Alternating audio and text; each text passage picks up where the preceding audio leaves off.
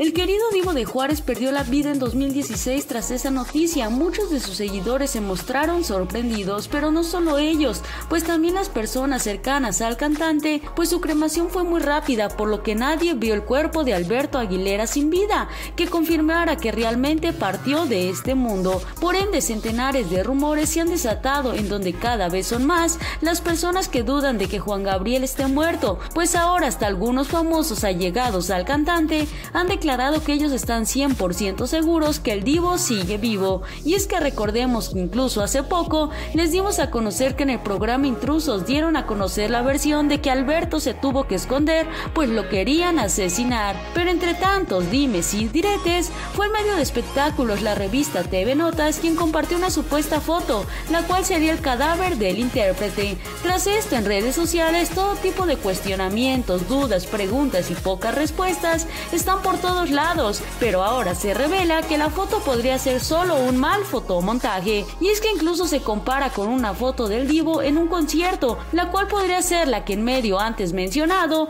tomó y solo hizo algunas deformaciones, le quitó un poco el color para que pareciera pálido, aparte de agregarle algunos tapones en la nariz y difuminarle un poco sus cejas. La realidad de todo esto es que si se presta atención, la expresión de ambas fotografías es idéntica. Por otro lado, fue el mismo Joaquín Joaquín Muñoz, quien reaccionó a dicha foto y aseguró que es solo Photoshop. Pero tras esto, ¿ustedes qué opinan tras ver esta fotografía? ¿Creen que Juan Gabriel esté con vida o ya se encuentre descansando? Este video dale like y compartir, ya que todos los días te traeremos el alboroto de los famosos.